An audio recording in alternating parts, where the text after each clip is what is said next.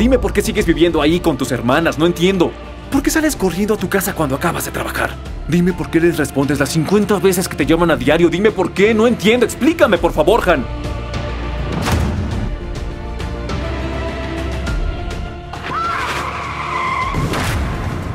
Es riesgoso golpearse la cabeza.